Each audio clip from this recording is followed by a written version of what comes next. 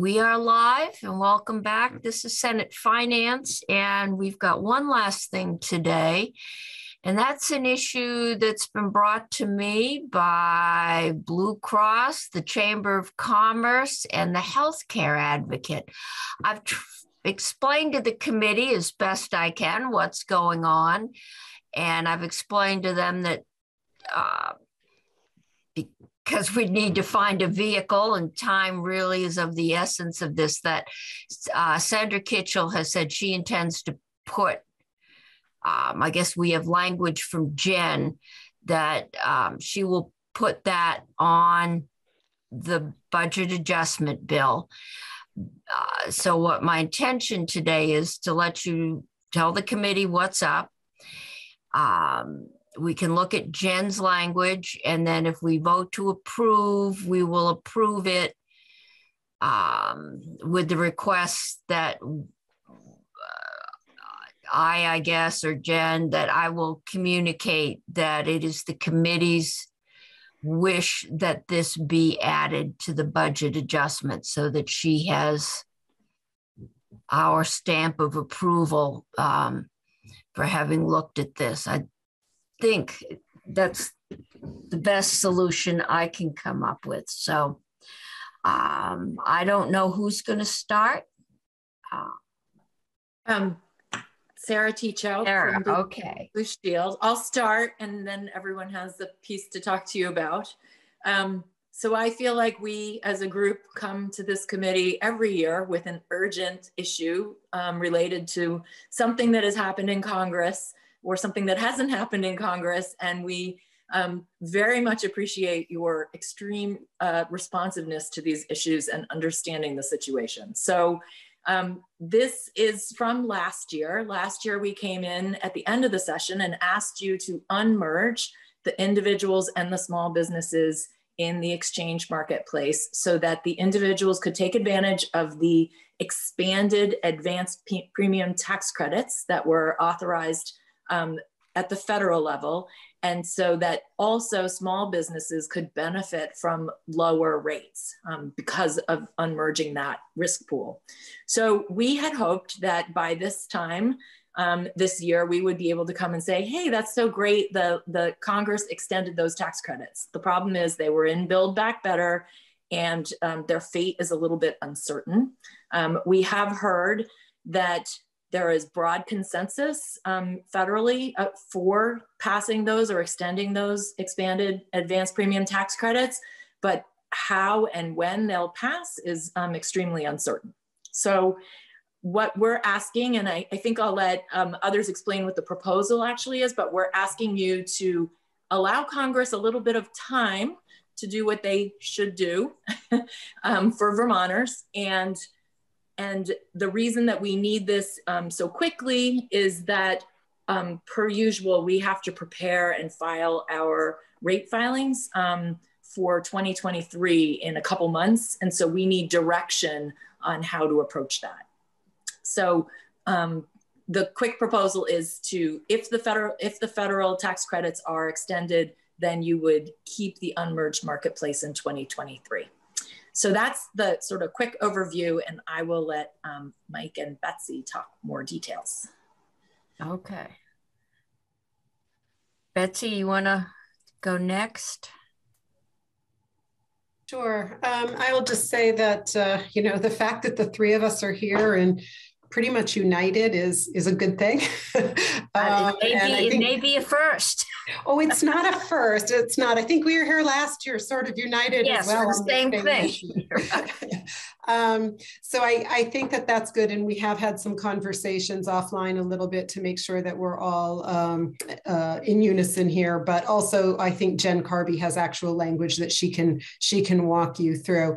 Um, so yes, we are supportive of extending this date. I think we had this conversation quite a bit last mm-hmm. year. Um, we were very hopeful last year at this time. We were we were hopeful that the feds would do the good and right thing, and um, I guess maybe this is an attempt to say we're still hopeful. Although um, seeing what's happening at the federal level, I'm I'm I'm going to remain a little bit hopeful, but this would give, basically give us time until the fall, I think September 1st, or, or we can talk about that specific date. But in essence, giving the feds a little bit more time, because if that doesn't happen, the trigger that is in the statute now will um, will be triggered and that will mean that we will have the markets be merged again and so when i was here last year i think you all made me pinky swear that i wouldn't um, senator hardy remembers this. I, I, actually think the word pinky swear was was used. Um, that that i very mature group it's fine. It's Friday afternoon, but that we, we, when and if this trigger came to pass, that although we think we might have seen 13 to 17 million dollars of savings for businesses last year and in the individuals in the individual market were not harmed by that that if we had to merge these markets again we would feel that coming back this way. And so that's a little bit about what we're trying to avoid is feeling that pressure again. Nobody wants that even though we did pinky swear that one year of savings was better than zero years of savings and i'll still say that. But you know feeling that come back in raised rates for the small group market is not is something that we'd like to avoid. Thus the reason for extending the date. Um, so I, I would say that um, I, I, can certainly talk to you about what businesses are going through right now as far as struggles and other other increases in in weight with legislative proposals that are happening right now but we'll just stick to to this for the moment. I do want to be certain in this in this discussion. I know we're trying to do this quick and get this in the BAA, but what we're talking about when we do this is that there won't be those expanded premium tax credits for all the expanded areas, both in the amount of money as well as in the um, in the categories of people that have gotten that. So it's uh, while the if if this comes to pass and the feds don't act in the way that we hope that they act if the trigger is done and the markets are merged not only will small businesses feel it but having those individuals go back to where they were a year ago i'm sure will will feel they will feel that as well. But that is what we, we're not talking about additional protections that would increase the amount on small group. So um, I think that's pretty much all I need to get out for now. Be glad to ask, answer any questions, but maybe Mike, you want to add uh, something to this conversation. Uh, yeah, thank you, uh, Senate Finance. Um, it, it is uh, becoming more regular for the likes of the Chamber and Blue Cross and the Advocate's Office to be on the same page. Um, so, um, uh, uh, and, and, the Healthcare Advocates Office is, is supportive of this approach. Um, I agree with Betsy. It's a really bad scenario on all counts if Congress doesn't act. Um, and I also agree, I think we're all in agreement that if Congress does act, um, that it really makes sense for us to uh, continue our, organ- our, the the organization of the um, marketplace as we did this current year with uh, rating the individual and small groups separately. Um, um, so I, I want to just draw your attention to one tiny piece of the language that Jen's gonna Jen's gonna walk you through the language and um, and I have a little concern. I do have a concern about one piece of language uh, I think we're all on the same page. If Congress acts and extends the the um, ARPA subsidies, we should divide the market. Um, I think that there is there's language in here that says or has made substantially similar opportunities available that I have some concern about. Um, I am looking for a, uh, a, tolerance to make sure DIVA has some ability to act uh, in the event that it's not identical, but also wanting to be really clear in the legislature's instructions uh, that we're talking about a small tolerance. Um, so I think I think it makes sense for Jen to walk through and um, and if I could get any engagement from the senators on on that one point, I would. But We're looking for wording. We don't want to be tied to Congress being Congress, um, having them drop something 10 bucks, five bucks, But if they drop it $5,000, that's a different story. So we want to, and, and the question is, how do you word wiggle room? Um, okay. Exactly. Jen, that's your field. I'm confident, Jen. Well, I tried. I'm I'm the one who put in substantially similar, so you can look at it and see if you have better better word choice. Do you? Okay, I don't don't you, remember if uh, this committee. Can you share Do you your like- screen and Yes, that's what I was just going to ask. What You- what you your know what? You, it, I'm sorry, Jen, but can I just I, I just want to emphasize something. Um, you know, Betsy a moment ago said we were hopeful a year ago. We had good reason to be hopeful a year ago. You know, that your committee's action saved small businesses. I've been saying better than 15 million dollars. Um, and uh, that coupled with Congress's action for last year brought in uh, something in the range of $60 million in increased premium tax credits on the individual side. It was, it's, it, your committee's action was really successful last year. I think, I just wanted to make sure you heard that. Um, thank you. hopefully we can be successful this coming year too. Pat ourselves on the on the chest and hopefully they'll help us do that again this year. Okay, so Jen, let's see what we've got. Okay, can you see that language? Great. So Okay, and I- Jen I- in order- no, no, I can read it without putting everybody off, Okay. so that's good. Okay, I can make it a little bigger if you need it. No, no, Um, it's, it's the pictures of folks down the side, Okay.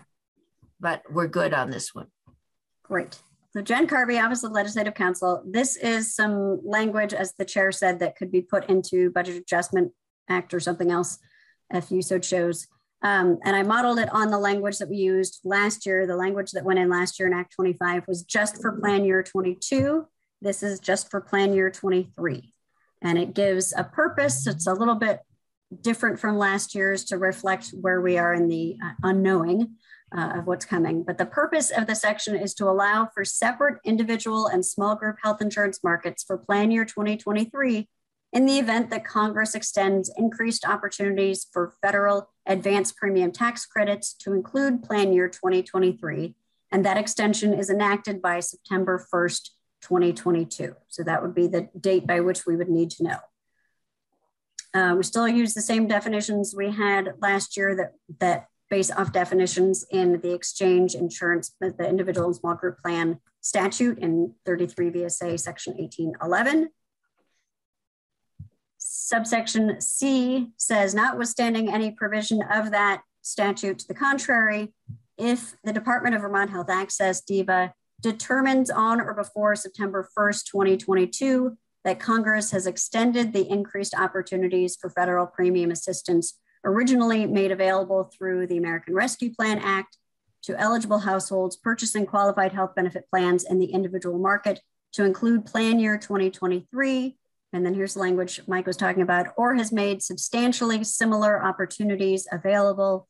Then for plan year 2023, a registered carrier shall offer separate health benefit plans to individuals and families in the individual market and to small employers in the small group market apply community rating in accordance with the applicable provision to determine the premiums for the carrier's plan year 2023 individual market plans separately from the premiums for its small group market plans and filed premium rates with the Green Mountain Care Board separately for the carrier's individual market and small group market plans.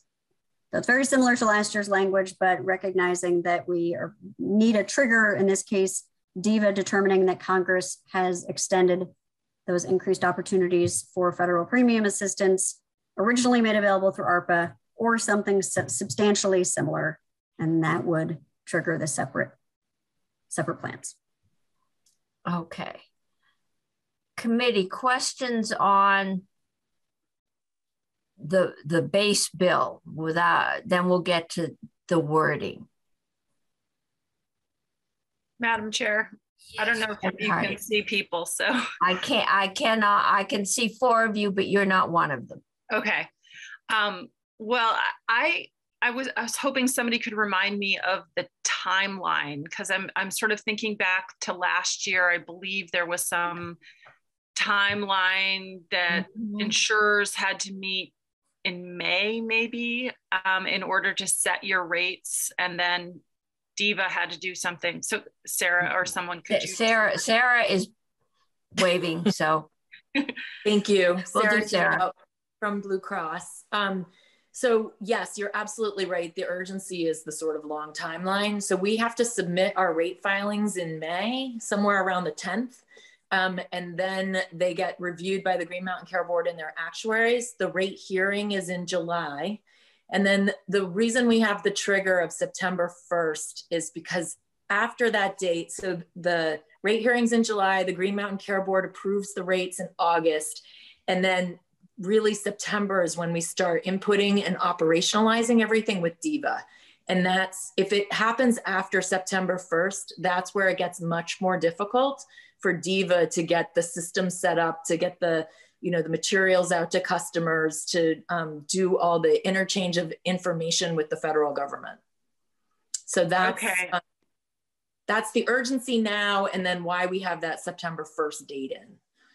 Okay, so help me understand. If we did this, which would carry forward basically the work that we did last year, and you would set your rates and Green Mountain Care Board, or you would request your rates and Green Mountain Care Board would approve your rates.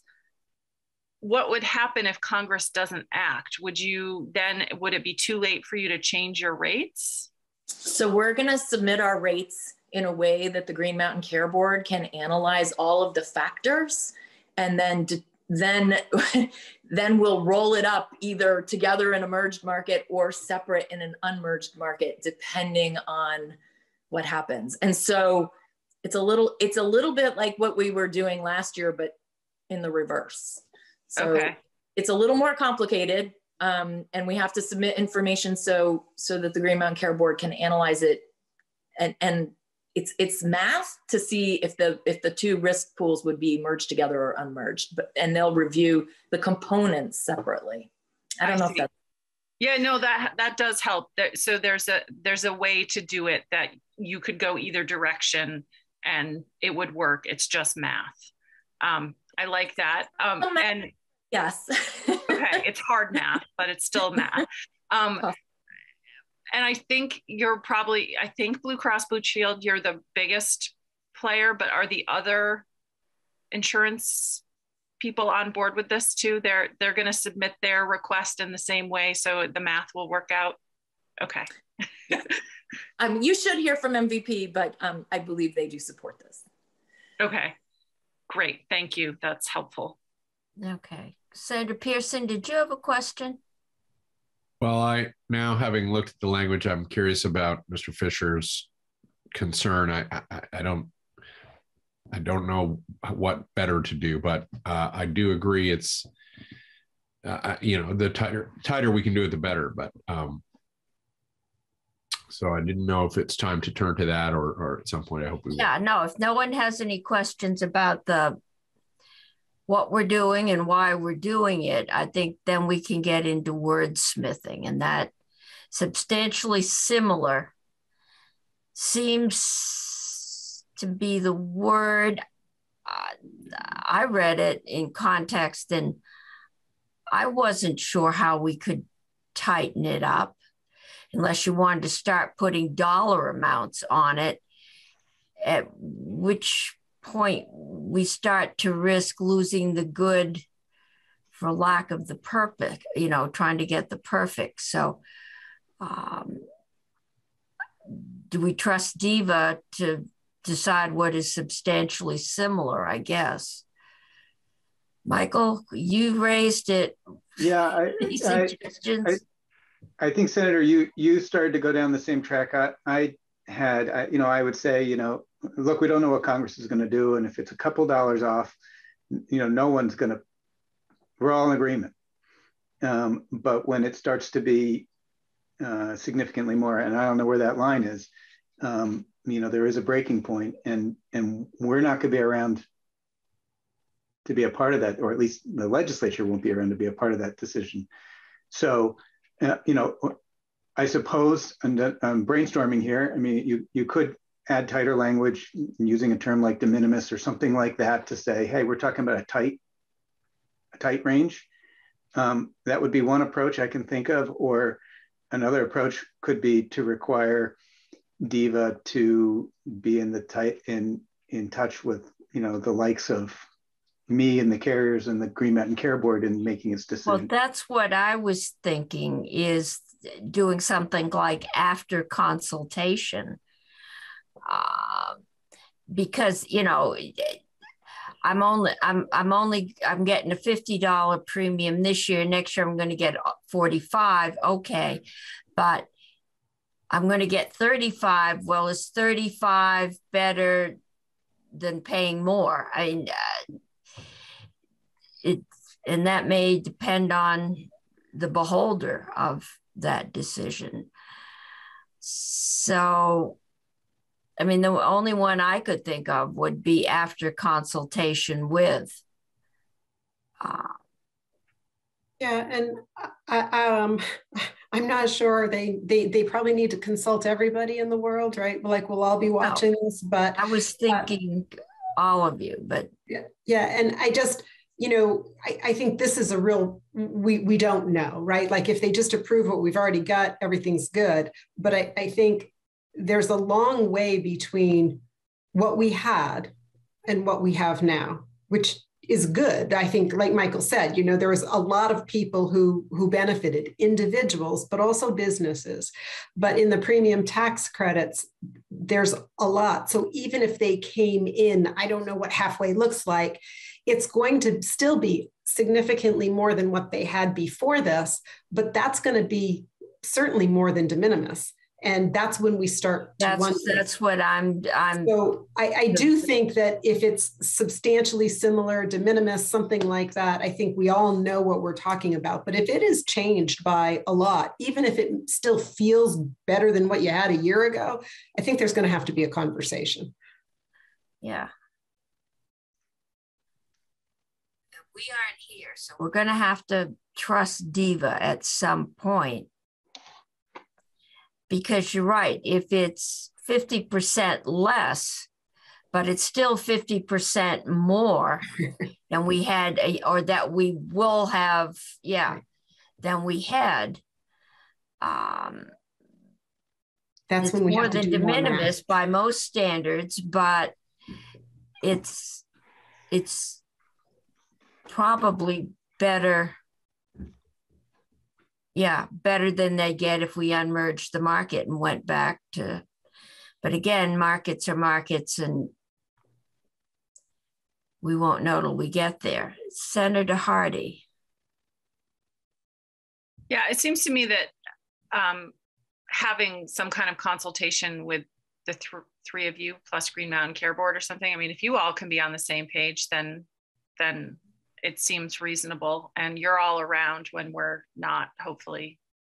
Um, i would feel comfortable with that if you're all willing to do it. Just it seems to me that you're a, a representative group that you're wanting to do the right thing for a whole host of people and organizations so. So jen could we say substantially similar does it say diva can approve um, and say after consultation with? Right. So where I'm thinking, and I can put this back up if that would be easier. Where I'm thinking is um, that it would be if the Department of Vermont Health Access determines after consultation with, and I don't know if you want to literally list, um, you know, organizations or if you want to say interested stakeholders, um, but and then you know then have the honor before september 1st. i think interested stakeholders that way if somebody else pops up and says wait a second you guys haven't talked to me um, one of the other insurers um, you know another small business group whatever senator pearson i guess i'm just wondering isn't wouldn't it be I'm fine with this direction, but couldn't we also just sort of say if Diva finds it to be advantageous to to both, like they're they're we're we're sort of quarreling about how good it'll be, but yeah, there's a there is a, a, the difficult math will suggest it's either better or worse, right? So I wonder if we could just could we say that that, uh, that both markets would be better off than if they went back to a merged market? I think that's, we're saying, you know, they all might only be 10% better, but that's better. It's 10% to the good. Whereas now they may be 50% to the good. You know, I, Yeah, my, Mr. Fisher. um, I think given the tr- look, in all likelihood, Congress is going to act and they're going to do the same thing, or they're not going to act, and we're going to be in real trouble on, on all kinds of levels. Um, but when we start to go down the scenario of who might be better off and what might Congress do, and might they go up to 500% as opposed to 300, you know, whatever, there's too many scenarios and we can't possibly there, and there would be winners and losers. Um, so um, I, I'm, I'm coming around to believing that uh, the language we have here is substantially similar with consultation. Um, and then, you know, I guess I don't know, you know, probably if Congress did half of the ARPA subsidies, um, I'd probably oppose it and the chamber would probably be in favor of it, but, you know, And then Diva we'll gets to decide. And we'll cross that path when we get to it, if, if it comes to be that way. Okay. So Jen, you can type that in and Yes, I have it. And do you want me to put it back up so you can do see? we need I, I see like it the idea of interested parties and not naming people as well. And I think that's between that and the substantially similar. I think I think it's as good as we're gonna get. I I don't Putting it think back. It can get much better. All right, so I've just put language in here. I, I wanted the, to, to be clear that the determination had to be by September 1st. So uh, notwithstanding any provision, if DEVA, after consultation with interested stakeholders, determines on or before September 1st that Congress has extended the opportunities uh, or has made substantially similar opportunities available, and then it goes in. I think that's as close as we're gonna get. I, I, I think that's good, and I hmm. wouldn't suggest any change, but I just do want to say out loud that I don't think Diva needs to consult with us if it's identical. But, but I think the language is fine. It could be a quick consultation. That's right. We've got notice, is it okay? Yes, So I'll just share a bottle of champagne and be done. that's right. Okay. Senator Brock, it's evident again that your methodology of having the opposing sides debate in front of us and come to a conclusion on their own without our involvement uh, has been reinforced today. would that it was always this easy. We should We to- won't even go to re- We should back to with rate review. associations. All right, Senator Sirotkin. So I have a question. I think it's for Jen, um, or anybody can answer it, but it seems like we periodically get these requests and they're time sensitive. And it has, it seems to me that I've always felt that the rate setting process is about as non-nimble as it can be. So mm-hmm. things come up after things start like eight or 10 months earlier, and there's no flexibility with the board or DIVA or whatever to, to do things without calling a special session or coming to us. And I'm just wondering if there's any changes we might think of in the rate setting law that could, in some ways, uh, allow for a greater nimbleness and leave us out of it. Michael, So I'll I- certainly defer to the, the people who participate in the process, which is the, you know, the carriers and the healthcare advocate. I don't believe it is what's in the statutory process itself that creates the timeline. I think it may be some combination of federal requirements and, um, and the various administrative procedures, but I don't know if Sarah or Mike has more. and I think I'm going to declare this beyond the scope of this bill. Uh, it's Friday. It's Fri- oh, no, it's definitely beyond the scope of the bill. Uh, This isn't even a bill. It's a simple and statement. it's and it's Friday afternoon, so I withdraw. You got it. I withdraw. And you're in Portugal. That's right. I withdraw the question. I'm going back to the river. I think it's something we we definitely should, you know, can and probably should look at, but I don't think this is really the vehicle to do it. No, I wasn't implying that. Okay, so committee, any other questions of our honored guests and uh, who are actually seeing us together?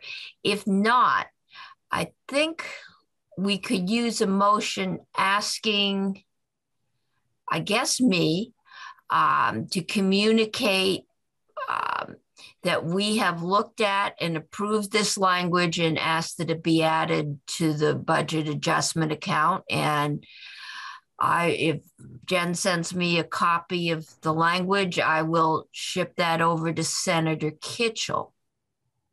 Does that, So moved. okay, Senator Sirotkin has moved. Is there further discussion? If not, all those in favor say aye. Aye. Hi. Opposed, say no. Senator MacDonald, was that a no? You're muted, Senator. Aye. You're an aye. Okay, I just saw a hand waving. I guess you were hitting the button. All right. Okay, that's seven zero zero. I shall communicate that to Senator Kitchel and hopefully we'll keep grasping on this last straw and hoping we can pull out a, a good deal for the ratepayers in these two groups. So thank you Thank you. all. Very much. Thank you. Thank you. Thank you. you. Well, thank you for being there and bringing that to us. I assume all of your national organizations are in touch with Congress about this and doing their best up there. Okay. Good luck. If only I could control my national. Yeah, yeah, that's a good point, Betsy. I share a name, but that's it. Yeah, it's one of the hard parts of having the Vermont congressional delegation, at least from most of our point of view, is that it's pretty hard to beat on them because you're pretty sure they're going to do the right thing. That's true. So, um, okay, so I will get that out. Thank you all. It is Friday. Um, I'm keeping my promise. I got you out by almost 3:30 on Friday, even if you don't have to drive today. Senator Um, Cummings, this is Faith. yes, We had put on the agenda a discussion about pupil weights and cost equity grants, but it may be that you're um, done. that's right. And we did that once before. Right now, we are trying to get the school boards in, and I asked them to have uh, the superintendents, and we asked them if they could send us some superintendents who might be winners and might be losers under you know the scenarios and give us feedback as to what the schools would like or not like between the the grants and the weights. And we they, said they they needed to have information on winners and losers before their schools could really talk about what the impact would be in their schools and somewhere in there, I got an email that said Brad James was presenting it on Friday, only wasn't presenting it to us. And I'm not really willing to let information go until this committee has seen it. That's standard protocol. Um, so we're going to have Brad James in. I've asked them to just have the superintendents that talk to the weighting committee to see if they would talk to us or giving them the option of putting off coming in until we've heard from Brad and then we can ship the information to them. Um, I think that was the end result of many emails this morning. Um, but again, this one, unlike Ryegate we have to do something with. I can't just tell you I'm not taking it up again. So I'm still trying to figure out who, what information, you know, as as as we go through, as you figure out information you need, let me know. Um, it's still, it's pretty hard. It is to wrap your head around are we going to do weights or you know equity payments until you see the results? At least maybe we don't name the schools we look at but we can see what you know in a sampling what they're like. Um, so senator pearson i saw your hand and then i saw senator hardy and i'm happy to defer to our resident expert um, okay but I, I do have some thoughts to share. I, nothing Good. urgent. I was just going to say that the um, the task force report has the scenarios fully um, full printouts um, for all the school districts in the state with cost equity payments and um, weights. The weights in there are exactly the weights that we were discussing um, that are in that table that I provided the committee earlier the week this week. So you can look and see for all of your school districts okay. how the weights would. And then the cost equity payments that are in there are very, very close. They are the cost equity payment amounts that um, the JFO um, backed into basically. Um, and before we asked Tammy Kolbe to provide us with um, her calculation, and they're really, really close. So okay that those two scenarios should be able to tell you in general how all the school districts are going. What's different from the report versus what's on the table now is ELL. And that is, again, what we're waiting for education to right. figure out before we start. But you can look at all the districts in the state. Mm-hmm. And if any of you have questions and want to walk, want to call me. I'm happy to walk it through with you and explain we'll, it. We'll Brad walk it too. Yeah, um, we'll walk it through publicly. Yeah, I mean it's it's all in the report, and I don't know why the Superintendents Association, frankly, is balking at it. Jeff Francis should know it's all in the report. I and, don't know uh, you know, they were they saw that report and came and testified in December and said that they were going to work it through with their association. So I'm not really sure why they haven't. Um, and the superintendents themselves know whether they're from districts that would benefit or not benefit. They all know. Um, so it's I'm not sure they do. It's not a secret for them, and so I'm I'm very confused by why they're hesitating. This morning was confusing, and yeah. Jeff is usually a very helpful and cooperative witness, at least when I was on Ed. And I've known Jeff since he was on the city council in Montpelier. Yeah. I mean, I know as an time as an association, it's tough for them to come to a consensus because there yeah. are, are, so no, many. I, I, don't think we're asking them for consensus. I think yeah. we're just asking for feedback to get a sense of the impact, pro and con, that this would have on schools. I did try and read that chart. Um, I would recommend that you print it out. I, I, in order to get it big enough so I could see it on my iPad, I had to follow over three screens before I found the impact. And sometimes running your finger along that screen doesn't work real well. So there's probably a better way to do it than that. But it, it was difficult to read yeah. just because of the the size. But yeah, we struggled my intent is to print it out. Um, many pages of it. So um, take a look at that. Senator Pearson.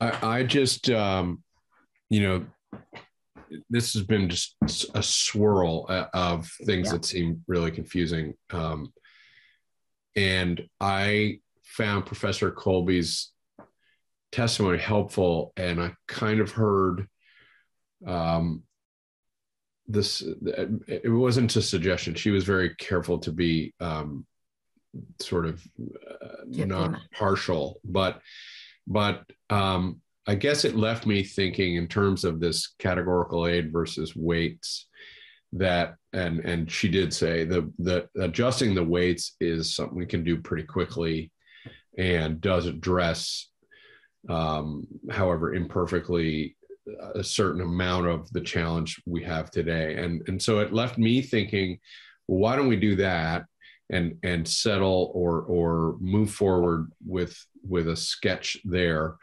But also i've i've come to appreciate senator hardy and others who who sort of are approaching this as as a, a more thorough fix in terms of um, aid and and categorical aid and and that approach that also has a more i like that it creates maybe a more simple process down the road or simple relationship. And so i wonder if there's a way for us to say look that there's an urgent need. Let's let's uh, move forward with some version of the weights that's going to phase in anyway but also allow you know what we heard from professor kolbe anyway was you can't just do the categorical aid today. There it has to there's there's pieces unfinished. There's mm-hmm. there would be more to do with it. And and i wonder if there's a way to kind of keep that discussion going while we remedy or or attempt to address some of it. And anyway that's Maybe not a revolutionary a thought to ask for the the superintendents um, and we also have the suggestion, and maybe we'll let Senator Hardy walk us through that, that we could look at a hybrid that there's a lot of new categories that are being suggested for weights.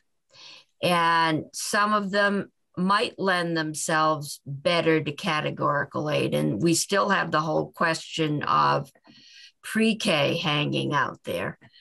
Um, to me, and then and yeah, and I think the only issue I can see is saying, well, we're going we're going to do weights now because schools know them. Schools are going to have enough disruption with changes in the weights without changing the process uh, that that they use but I don't think, and Senator Hardy, correct me or Senator Brock, that if we went to categorical aid, that you might have the same winners and losers.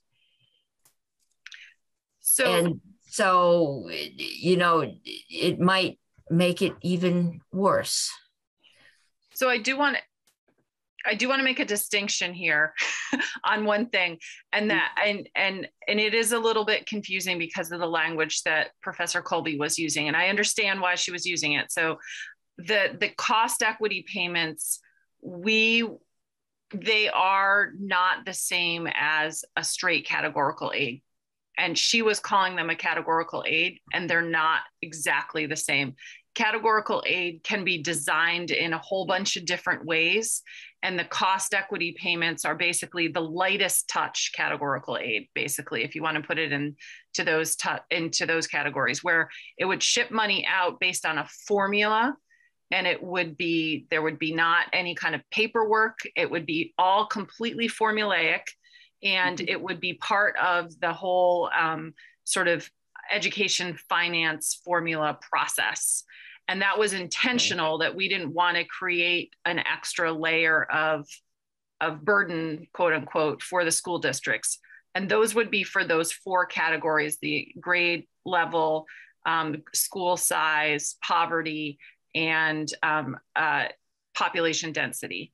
The one category and, and i intentionally say category here where we felt like a true categorical aid made sense was ELL because of the complications that come with ELL and how the weights don't really work for that. And it's really a very specific educational program and identifiable need. And so it's tough because there's this sort of the cost equity payments are sort of in between a weight and a sort of straight categorical aid. So that's just one thing but you're right, Senator Cummings, that the that what if we did weights versus the cost equity payments for those four categories, there are slightly different winners and losers. And we tried hard not to use that term, but now the cat is out of the bag. Well, somebody's going to get more and somebody's going to get less. I mean, right. But it's what it really is is that the the winners are bigger winners and the losers are bigger losers. It creates bigger spikes um, with the categorical with, aid with the, with the, equity, the payments. equity yes. payments. Yes, and with the with the ELL categorical aid, it's a whole different story, and it's Well, we it's aren't looking calculated differently. Yeah, so I just want to looking at that. caution you. And I mean, and I think that um, we were really careful in the ta- task force to be careful with our language on a lot of things. Like we never used the term winners and losers. We tried really hard to avoid that. Um, it was um, school districts that gained tax capacity or lost tax capacity is how we phrased it. And then the cost equity payments are different than the type of categorical aid. They're formulaic. They're they don't have the sort of requirements. And you know one of the things that that professor kolbe was talking a lot about was sort of regulation and how much regulation are we willing to put into place in order to get the outcomes that we are interested in. And and these are sort of unregulated grants um, so to speak. And i know it's subtle and it's hard and we talk so much about language that it's um, uh, we we sort of i don't know senator brock you can say we trained ourselves to to to think about it that way and um, it's hard to to to go back Well, we're trying to catch up in a couple weeks what took you months. And i know is the really simple hard. thing to say that true categorical aid, you probably have to fill out some paperwork to apply. You get it, and then you have to fill out some more paperwork that said, we've done it. We've had, you know, we've got X teachers for English language learners. We've got X classes. They get this and then they get uh, whatever. Yep. And the categorical aid, if we did it on rurality, how rural you are, um, you would just have, we would just the department, I assume, would look at some state statistic that says in this section of Orange County, there are fewer than six people per mile. And in this section, there's more than 50 people per mile. And we would send you a check based on that. Yeah, so the the population density is based on census data, um, a number of people per square mile, and Brad has that sort of integrated into his formula, and he can walk you through how he does that. Um, it's similar with the school size, and the, the small schools have to be in a very rural area, as I've said before. And one of the things that I think makes a difference is that for categorical aid, they literally are for a category. Our current categorical aids are for special education and transportation and small schools. And the, the categorical aid, and, and Senator Brock can attest to this as well, that we heard that pretty much everyone hates is the small school categorical aid. And I think in, in large part, no pun intended, they hate it because it's not really a category of expense. You know, you're a small school. And you you have uh, you're just more expensive to run because you're a small school, but it's hard to identify the expenses that are related to kids in fourth grade, you have to hire a teacher. You have 15 kids in fourth grade, you have to hire a teacher. The cost for the teacher is for, you know, the same, but the cost per pupil is much higher if you've only got three students. Right, exactly. So it's harder to identify. And the same with a rural school. There's evidence, and Professor Kolbe found this in her study, that rural schools are more expensive in large part because the you know cost of goods and cost of labor are more expensive in the Northeast Kingdom than in downtown Burlington. But it's hard to sort of like say this thing i'm buying this thing that's costing more and so they're more ambiguous categories but they do lead to higher more expensive Um, schools and higher costs But Peacham and Craftsbury who are known to be good schools, I'm sure would also be rural schools. Yes. And small and, schools. Yep. And the, the, I think the category, and when you're talking about a hybrid, Madam Chair, the category that's sort of in the gray area, at least for me, is poverty. Um, you know, small schools, grade level, and rurality are all these sort of like. You can get that statistically. Right. They're they're they're just the the way that the school is it's a ba- it's based on the school's location or the school's right. type poverty is sort of a mix because in some cases it's just more expensive because you're in a, a, a, poorer community and you have more expenses but in some cases it, it is actual student supports that you're paying for. Yeah. And so you can identify them like additional um, you know tutors or additional you know food or mental health or clothes or whatever that sort of things that go along with yeah. identifiable poverty. So that's the gray area for me but it, so it could go either way. And i think you know to senator pearson's point of saying we understand the weights we're used to the weights i think it makes sense to start with the weight for poverty and maybe put language in this needs further research and maybe it, in the future it's it it would mm, work better to have some kind of grant.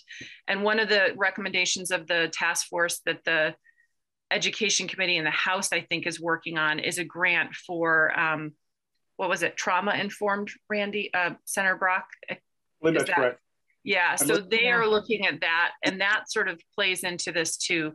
Um, so yeah it's it's complicated okay. but I, I understand you know we're at a place where what we know might be the easiest path forward yeah uh, uh, senator pearson yeah I, I i guess that's my point is is there is a, an un it's not really debated that there's a, a problem to solve that that we've you know that's why we're willing to have this difficult conversation. But there is a real risk that we do nothing. And and that's so so uh that's where i'm starting to get worried and and sort of I, I I don't pretend to understand it, but I can appreciate Senator Hardy saying that, you know, there's better ways to do this. Um, I don't see us doing it in that way in this year and so I, I I've started to, you know, I like to simplify things and simple and and break it down, and that's where I think we ought to start shifting into a, what can we actually do now, mm-hmm. and uh, you know what I'm trying to suggest is a way that doesn't preclude us taking longer steps in the future um, if it's if it's more of a shift towards equity payments. But um, I, I do think there's a real need, and I think there's an, entirely likely that we do nothing, and and that's both of those are unacceptable to me. Yeah, and that's I think where I'm starting. Something on. I, I think though that if, for example, the simple approach would be to use the car would, would be to use the, the the weighting methodology across the board, and that's I think what we heard probably more from the education community than, than anything else, because again, it's something that people are used to. But at the same time, to in effect put that in place permanently when there are probably better ways to, if nothing else, to simplify and make this education funding more understandable. Uh, I think is a really important thing to do because people don't tend to want to support things that they can't understand. And right now, we've got essentially a Rube Goldberg diagram. If we if we if we map this out so that people could see what's going on you know i we haven't touched these things since in this century uh, and i'm not sure how long in the last century it was um, and nobody seems to be able to find any rhyme or reason or, or logic is to how the weights were set in the first place probably on Friday afternoon when everybody was tired. Um, and that is the the prime problem we've got. We need to get the way we reimburse schools for the cost the extra cost of educating certain students up to some kind of a rational system that reflects modern costs. And we and that's prime. I'm also very sensitive that schools, I, I don't think they can handle any more stress. And they know weights. And if weights, you know, if we can do that, you know, to sit here and say, well, we haven't looked at these things in 50 years, but we're going to, we're going to keep working on them. It's probably ingenuous on our part uh, because it's painful. Because some schools are going to get more or less or whatever you want to call them. Um, and we need to find a way to phase that in. And we can. We it looks like English as a second language is going down as as a grant. And we might want to try one other as our trial balloon, something that's new. So the schools will have to do it anyway, like middle school. Um, that's new. Or r- how rural you are. Um, those are new. And so then the bulk of the money is going to be where it is now. And they at least won't have to deal with the system. And then we'll get a trial balloon as to how well and how simple and understandable the other system is. But um, the important thing to me is we do something. This has been too long. So, Senator Hardy. Thank you, Madam Chair.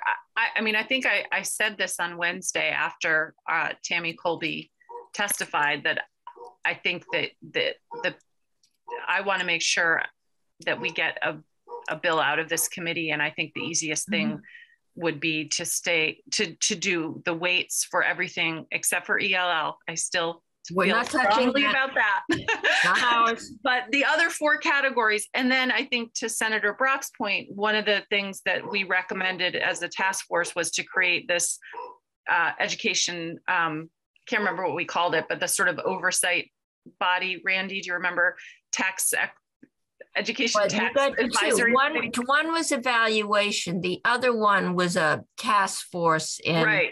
Personally, I'm not sure why the Department of Ed can't do that. Well, they would um, be part of it, and tax would be well, part of it, and JFO. So it would be a, a, sort of like a permanent group. It wouldn't be a, a, a that would do the recalculations and things like that. Um, yeah. The whole issue we, that's really important in all of this is to over to have oversight yes. that allows us to go back and look at what we did. We think we may be doing the right thing, but unless you measure it and unless you can report back on did it work, did it do what it was intended to do, be clear on what the intent is, and also be clear on how we measure whether or not we've accomplished it. I think that's really important here. Yeah, absolutely. Okay, and so, I think and we've got to do that then. We've got to set up that mechanism. Yeah, and I think we can we can build that in and and um the just to be clear that the school districts all of it would be by formula either way. So at their end they would just be getting the money. It's a question of how you know how the formula worked to be getting the money.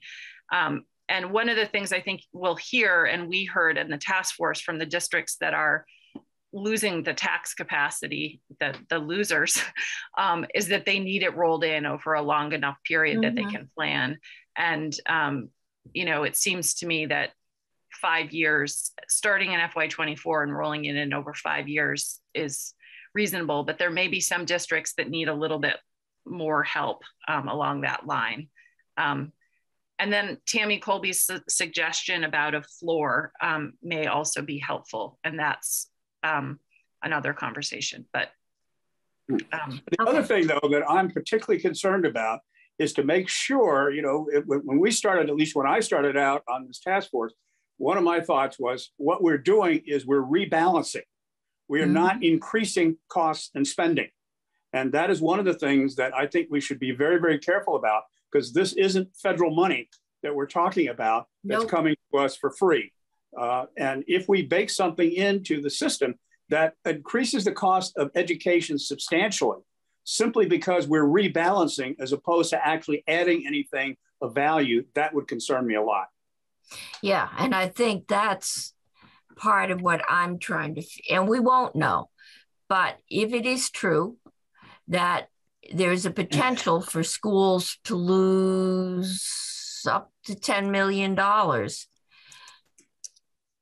I don't know how any school is going to absorb that, even if we phase it in over five years. Unless, I mean, if if they're losing it because they don't have as many poor kids as we've been paying them to have, it's part of their base education program, and it's unless they they can cut out an awful lot of their base education program, that's going to go on the tax rate. I mean, the theory that if you know you give in categorical aid, I think works up. It's a general theory, but we we haven't done anything this big to test that out, and I think some of it will have to come back into the ed fund. I just don't know how much. Um, and some of it may come out, but it'll probably be the smaller schools. So uh, we'll take a look at that and we'll talk to, um, and I'm, I got to find my, all right, I've got all kinds of emails that are popping up. Um, and they this is superintendents we should hear from. Eh, you haven't have you posted next week's agenda yet yes i did. Then i if i can get out of this week's agenda i can find it.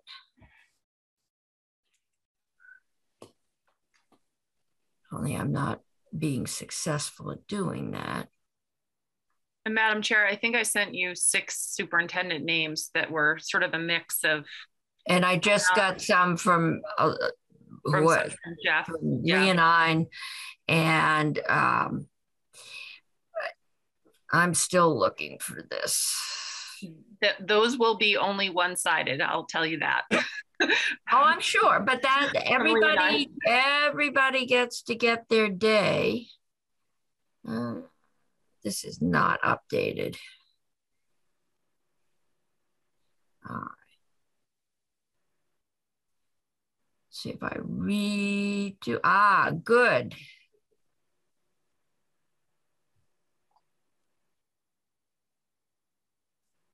All right, we've got the corporate income tax, which is the other one.